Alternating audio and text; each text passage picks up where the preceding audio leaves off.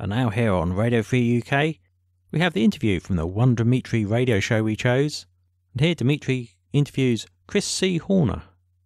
Chris is the author of the best-selling book, The Politically Incorrect Guide to Global Warming and Environmentalism, Power Grab, and Red Hot Lies. A senior fellow with the Washington, D.C. think tank, the Competitive Enterprise Institute, and affiliated with their European counterpart organisations. Listen on, this really is a humdinger. Now, this guy turned out to be a great interview. And I had no idea this was going on. I mean, it's, it's, it is monstrous when you have lawyers using government to limit your freedom of speech. It's absolutely monstrous. And so I thought you'd like to hear it. So let's play that on the blog. I got an Radio. email from this big deal public relations firm in Atlanta. I, do, I work with them a lot, and they send lots of information to me about, well, would you be interested in this guest or that guest, uh, this book or that you know project or whatever. And sometimes I say yes because I think, okay, my listeners would like that. Other times, eh, I think I'll pass. I don't know. And that's typically how it works. Well, this time it was different. This time I get an email from this firm saying, we've got this new guy, a guy, frankly, I had never heard of. His name is uh, Chris Horner. And uh, what he's going to be talking about is yes, he's got this book, but it's about this modern day witch hunt on the part of some politicians led by the New York State Attorney General, where they're trying to use the law to effectively silence people by by by by saying they don't have any First Amendment rights if they dare to criticize climate change and who's causing climate change and all that. This is a First Amendment issue. And I looked at this and I went, "You've got to be kidding me! This is the first I've heard of this."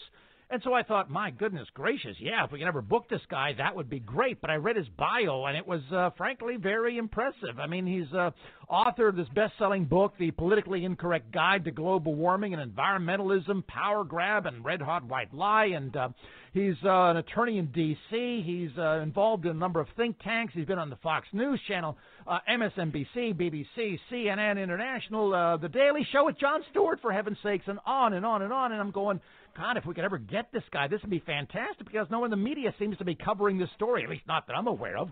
And so uh, my people reach out to their people, and they go back and forth, back and forth, and they say, "All right, fine, we can book this guy. You can get him for a few minutes, but understand he's very busy, he's very popular, he's got 101 other things going on here." So, uh, Chris Horner, welcome to One Dimitri Radio. How you doing, sir? I'm great. Thank you very much. So, who exactly is this New York Attorney General Schneiderman? Tell me about this guy and why we should all be terrified.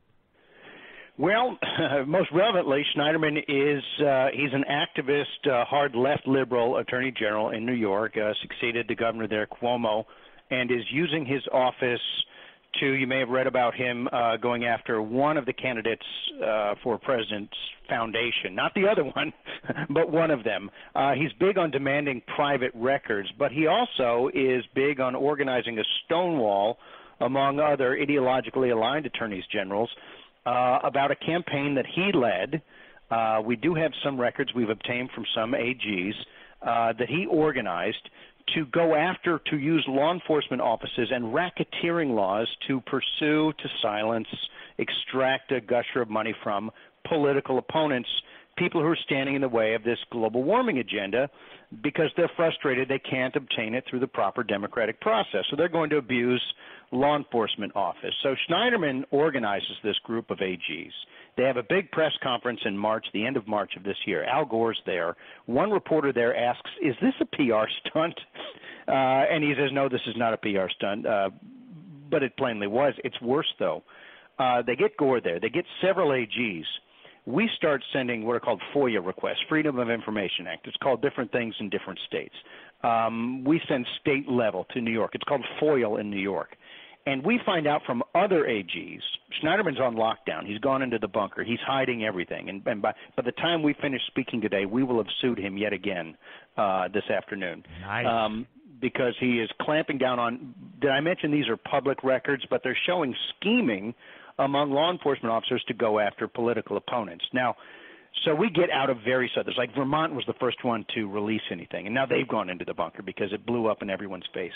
But it shows that AGs, attorneys general in Iowa and Delaware, for example, fled immediately. after their meeting before the press conference, the Iowa AG staff start emailing him, calling Eric is clearly the wild card because the guy's obviously untethered. He's he's he's abusing his office. He's seeking to extract a settlement fund out of energy company any anybody who subjects you to the horrors of affordable, abundant, reliable energy. But also they start. He's going after records of think tanks uh, not-for-profit groups, for example, ones I work with, the Competitive Enterprise Institute.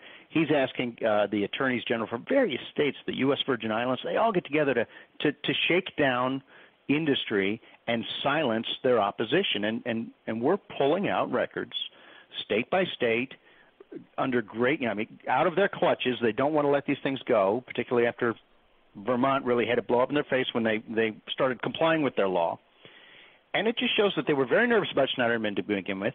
He's standing alone. All his wingman left. Uh, Massachusetts even uh, said they're putting their suit on hold. The U.S. Virgin Islands withdrew theirs. He's standing there holding the bag, and we're going to get those records because so far what we found is these guys are not only violating civil rights. We have First Amendment rights to political speech, as you noted, but it's a violation of the criminal code, the federal criminal code. If only we had a federal Department of Justice for two or more people to combine to violate the civil rights, the First Amendment speech rights of others. So we've uncovered a, some racketeering, you might say. We've uncovered a scheme, and they're fighting us, and they're making us go to court to get public records after they went hounding political opponents for private records. So you're saying, if I understood you correctly, I'm barely a high school graduate. What I think you're saying, correct me if I'm wrong, that the attorneys general in all these states, all these big deal lawyers were involved in a racketeering criminal enterprise to take away my right to free speech? It's clearly a, viola- a civil violation of civil rights. It's, it, on its face, it's a violation. It's a criminal violation of civil rights, and it appears to be yes.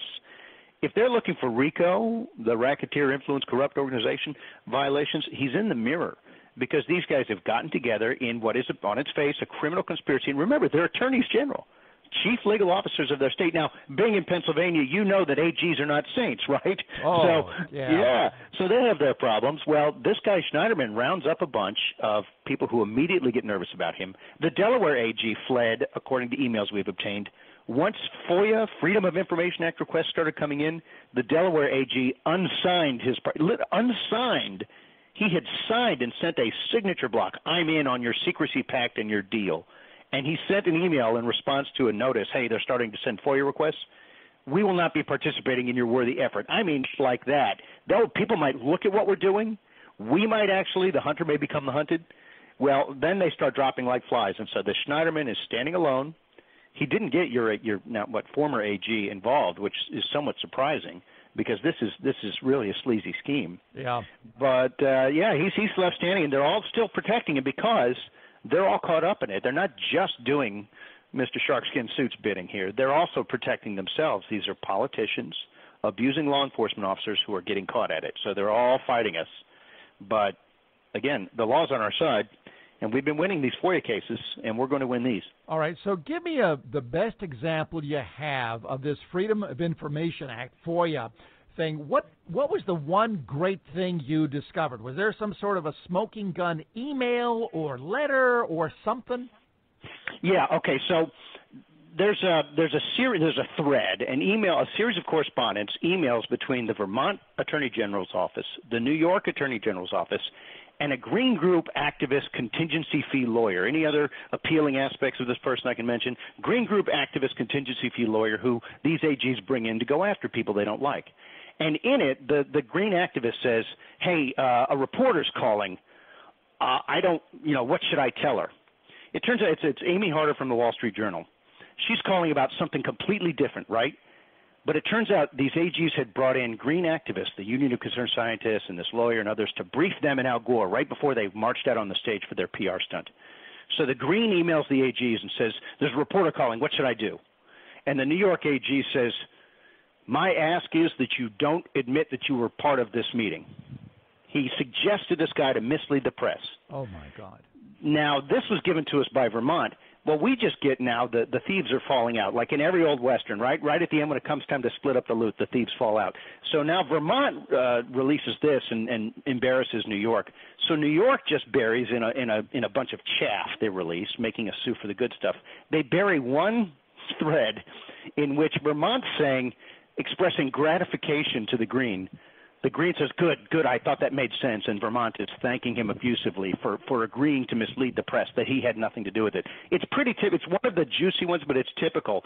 They're hiding what they're up to remember these aren't their records. They're ours. One guy said once i paid for this microphone. Well they're using our offices our chair our com- uh, computers our everything to, to go after political opponents. And by the way this should only matter if you don't care about global warming energy rationing killing seniors through energy prices and so on uh, this should only worry you if you either have or someday may have a dissenting political viewpoint. Others need, can tune out.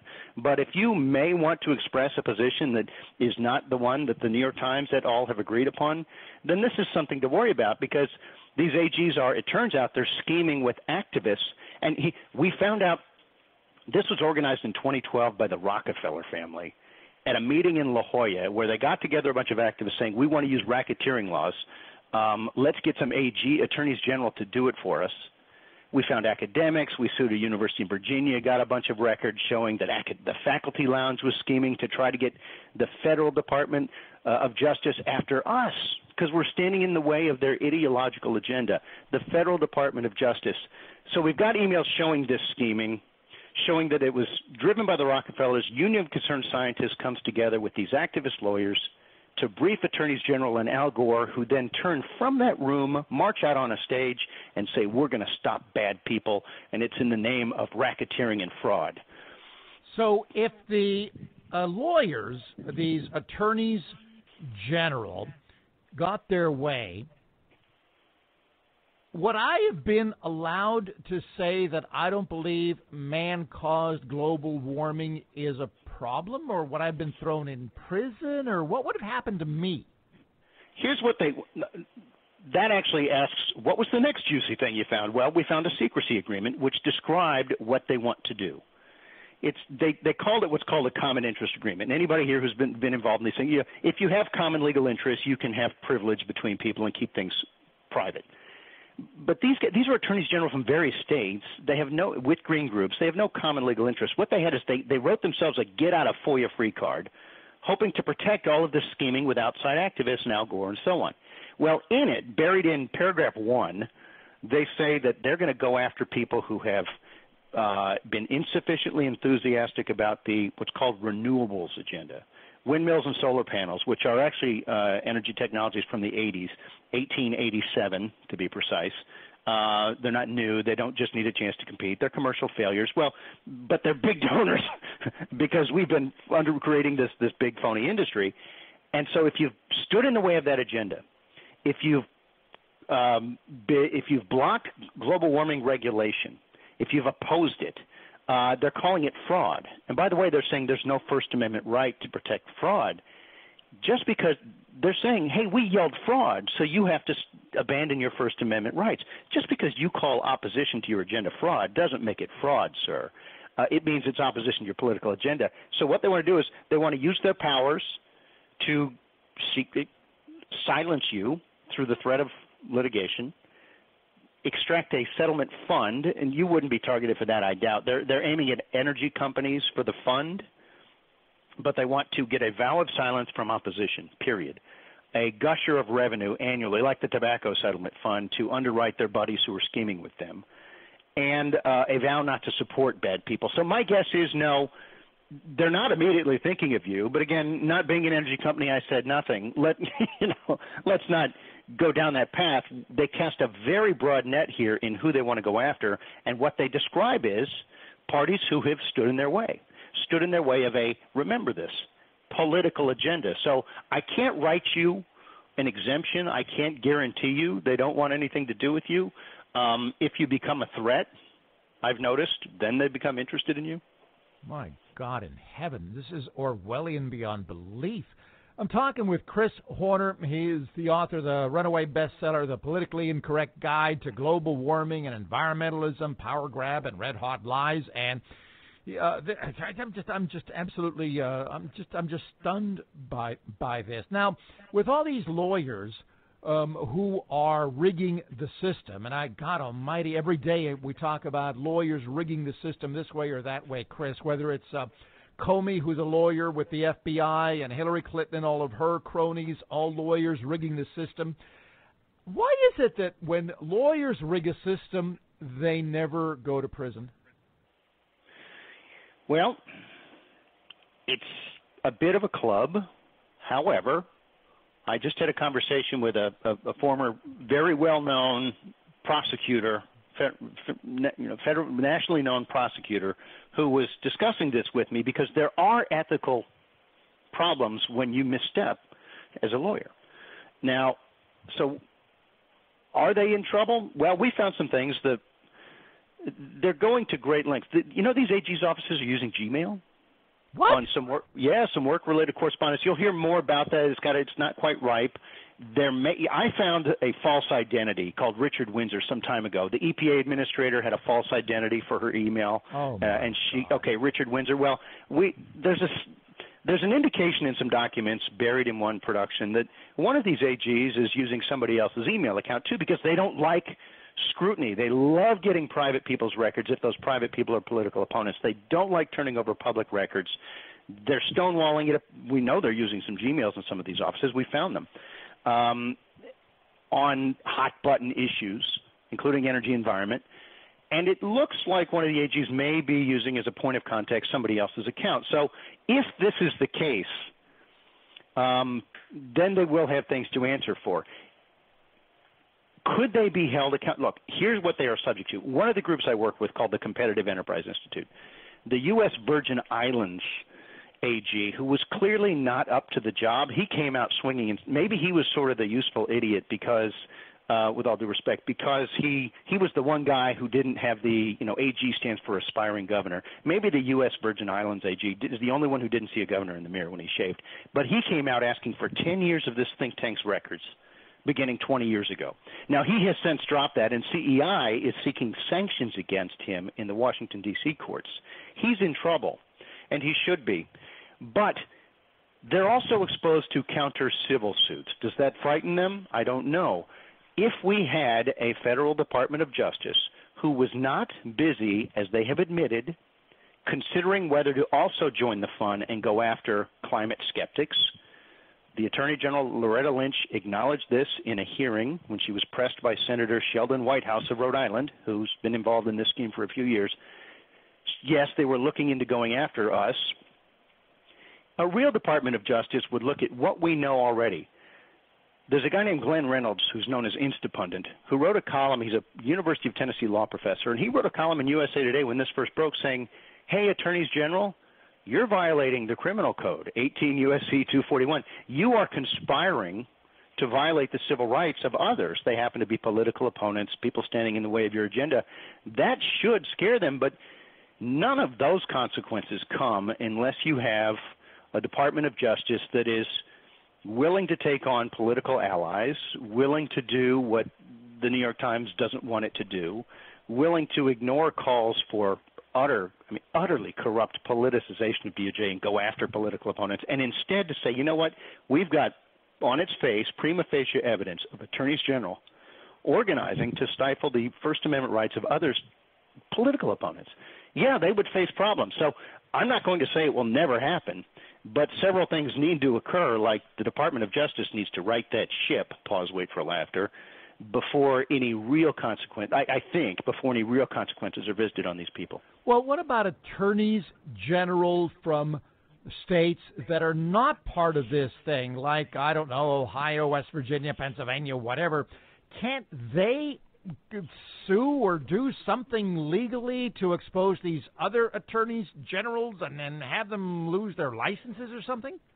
There's several things they could look into. First of all, it needs to be okay. So they've got to have a, a problem in their state. Now, some emails we've abstracted show that some of these AGs, the schemers, are saying, "Well, we don't have this problem, but we're willing to help out if you need some muscle." Mm. That was Washington State, for example some in response, I think 17 all Republican attorneys general did write them and say, you know, if you think that exaggerating, or excuse me, doubting climate risk is is fraud, you might want to consider the potential fraud that lies in exaggerating climate risk for gain. I don't know if anybody does that. Someone might check. I don't read many newspapers, but it does strike me that we have an awful lot of for profit alarmists running around.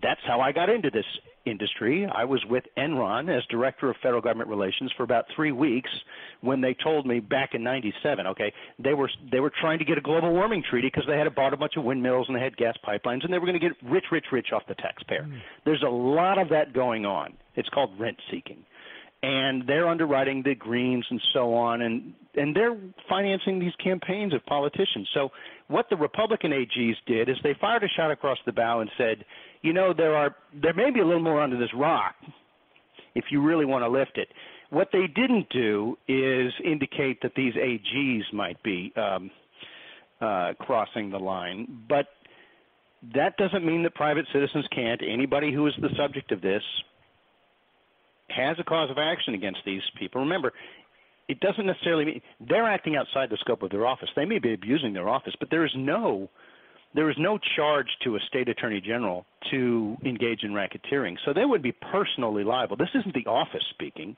These are people who are abusing their office in their personal capacity. Well, why don't you, Chris?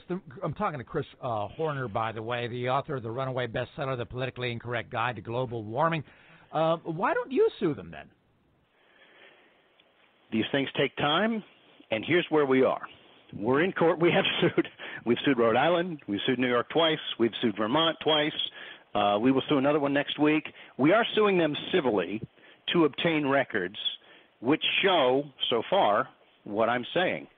And I suspect the one that they're the ones they're fighting like grim death to keep hold of probably show a lot more, but it doesn't matter. They're ours. They're not theirs. They're public records.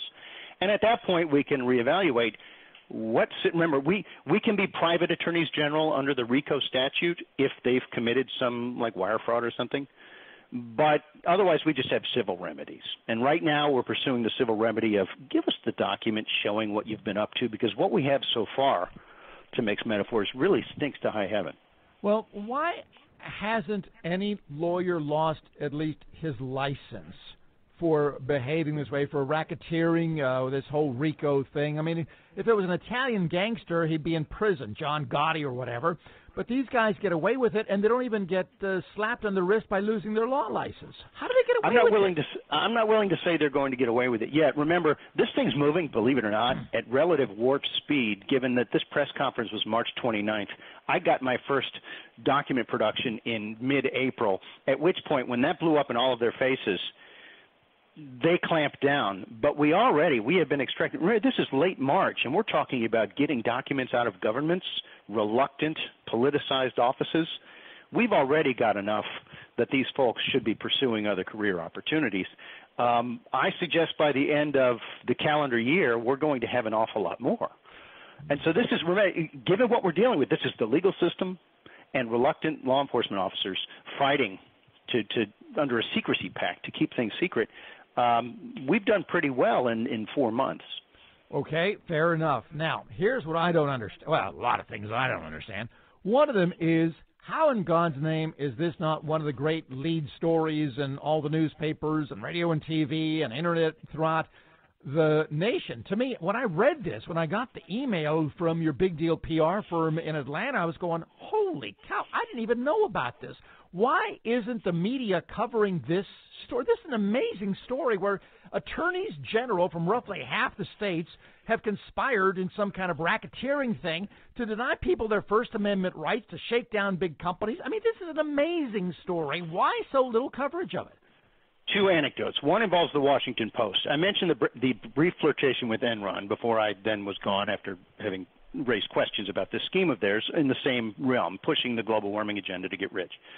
Um, after the collapse, when suddenly the Washington Post was interested, it was everybody's favorite energy company. Now they could tie it to the new president they hated, Bush.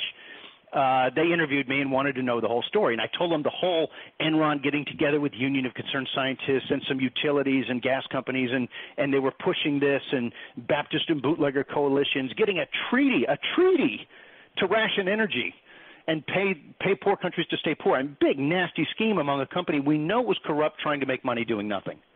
Beautiful story. And by the time I finished, the reporter, and the story appeared in late, I think, 001, um, right around Christmas, he tapped the pencil to his forehead and said, You know, I suppose I could say you're telling me they weren't that bad after all. And I said, Where, in what I told you, where did you get that? And he, he goes, Well, I mean, global warming. so it's like they're all Leonardo DiCaprio here, just complete empty-headed. Uh, uh, you said global warming. Uh, you, you, you, you uttered the magic words. Uh, therefore, all sins are forgiven as long as it's done in the name of global warming. It's a noble lie, it's a noble crime, whatever. That shows you where the Washington Post is. Other papers, for example, the New York Times won a Pulitzer Prize for a three part series on attorneys general working with energy companies, but with no suggestion of impropriety. Someone asked me, What's the difference between what you found and what the New York Times wrote about? And the answer is a Pulitzer Prize because they're not interested here. The, it's the wrong kind of people. These are renewable energy companies, and they are Democrat attorneys general. That's, that's the only distinction, except we have found actual impropriety. But they are not interested. I have worked with them. And ultimately, even after showing, for example, a series of 18 months of emails, the comeback was, well, you couldn't demonstrate any follow up. And I said, there are at least 17 months of follow up in these 18 months of emails. And it was like, that's code, like blinking torture. We can't write this story. This isn't the New York Times. Now, if you switch the part, you make it make it a, you know, instead of an uh, an oil company, uh, make it uh, windmills the other, or the other way around, windmills and oil companies instead of uh, Democrats. Can you find some Republicans? Um, and I can tell you some reporters have told me we've been given a lot of documents showing AGs working with companies. Do you have any balance? and I gave it to him, and the story disappeared. You know why? When given the balance, on balance, I was showing actual impropriety. Remember, th- what I've described to you is impropriety, and we're nowhere near done with this. And what they're saying is, I found Republicans talking to energy companies, energy, the kind that works, the stuff that works, that, that keeps us going. Um, that's the stuff of Pulitzer prizes and, and fainting couches at the Times. But when you say, here's actual impropriety, but I've got bad news, it involves Democrats and windmills. Oh, well, okay, you see, there's, there's probably a very good reason. Their heart's in the right place. You said global warming and so on. That is a, I'm sorry, somewhat cynical, but anecdotes, anecdotally supported uh, background of why this doesn't interest them. With right. that said, the Wall Street yeah. Journal and the New York Post and others are interested. They've been writing about these things. All right. Now, I've not seen hardly any of this on the Fox News channel or uh, much on Drudge or whatever. I mean, this was the first I've heard of this. This is an amazing story to me, and I had to find out from a public, a big deal public relations firm in Atlanta. Why? Where's the alt right press on this? All I can tell you is we issue press releases when we file suit, and um, like I say, the Journal and the New York Post have covered it. The others don't seem to want to. I will give Fox not MSNBC or CNN, but Fox has covered other things. We found extensive Gmail use at EPA to write these rules with green groups on Yahoo accounts and Gmail. Uh, they covered that. We found Richard Windsor, the false identity of the administrator, which led to the, by the way, that led to the AP investigation, which found all the private email accounts, which helped lead to Hillary Clinton's problems now, though her actions precipitated those problems. So ultimately some will cover it however grudgingly but fox did cover the other things. Not this yet but there's clearly so much more to come. Maybe they're waiting for that. I just don't know. But again kudos to the new york post and wall street journal. They at least have covered this and i suggest there's more to come because they i think they see what they've got with eric schneiderman. This is this is not a clean operation he's running yeah, and now kudos to One Dimitri Radio for also covering this. Give some credit where credit is due here, Chris. Now, Absolutely. before I turn my microphone over to you, because my guest always gets the last word, uh, two two things, uh, two questions. First question: Is there anything else I should have asked you regarding this story that my listener would find really, really interesting? Who is behind this and why? I mean, the, ultimately, it's cui bono, right? Who who benefits? Why are they doing this? And what I would have told you is there uh, there are suggestions, as, as the Post is New York Post has covered, uh, that the New York Attorney General is raising money off of this for his campaign and campaign for governor. Um, there are suggestions that the Democrat Party's largest donor is behind this. I've been informed with pretty good specifics and dates of meetings between him and these attorneys general and we know his demands were adopted in Philadelphia at the convention, including to use the Federal Department of Justice to go after company opponents of things he's invested in. So there are parties who ben- this isn't just ideology. Well, you said global warming. It's about the usual things: money and power. There is money for the politicians. There is money for the donors. There's money for the green groups. And uh, it's a bottomless well. You're talking about a massive settlement fund. So, yeah, there's an awful lot there. I tell you what, uh, you can find there's a lot of this at eelegal.org, and I know that's probably where you were going. It's gonna it, you can find this at eelegal.org and CEI, Competitive Enterprise Institute, CEI.org. Those two groups, CEI was targeted by one of these AGs. I work with both of them. E&E Legal has been suing the AGs uh, and will continue to do so, and as I mentioned, suing another one this afternoon um, extracting the records. CEI succeeded in getting them out of a university. You've got public interest groups, uh, actual charitable groups doing public interest work, letting the public know how their resources are being used, abused, not just squandered, but abused. Uh, to go after, again, it, it, this is only important if you've ever held or might hold a dissenting political viewpoint. Other than that, you should be fine. Yeah. Now, who is Cui Bono? Who's that? it's just Latin for who benefits. Who stands to benefit?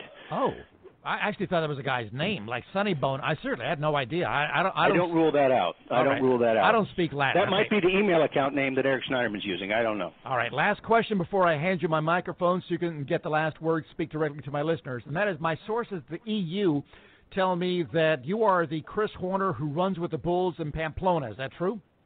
Uh, used to be. Get a little long in the tooth for that, yeah, but that that was. Uh, as I said, I used to do that to stay sane. How in God? What what what what, what is the thinking behind that? Just it's tell there. me the thinking behind that. I've never understood the thinking behind that. It's there. You read a little too much Hemingway. You don't. You don't have children yet, and your friend, your buddies say, "Let's go run with the bulls," and you believe them that they're actually going to run with the bulls, not from them, until you look around and wonder where they went. Uh, that's how you find yourself running with them. Have you lost your mind? I couldn't.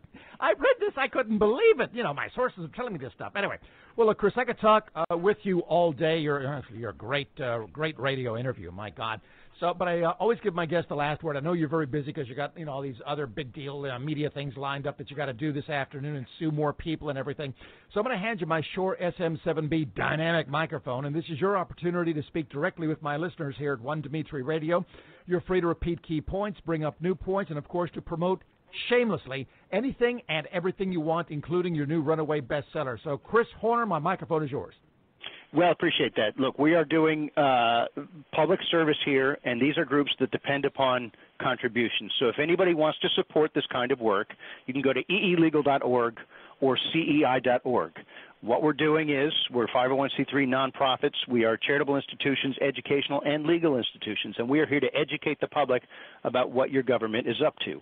That phrase is actually from a Supreme Court opinion, the first one interpreting the Freedom of Information Act, which this administration is particularly not fond of. They're the most secretive administration in the country, and it has set the tone. We found state attorneys general not just abusing their offices in this way that we've been discussing, but trying to hide it. So we're going to court to extract these records. We're doing pretty well. We won't win every one, but we certainly are educating the public about how office is being used and abused. So if you like this and you want to protect your freedoms, work for the pro liberty movement in any way, help us out.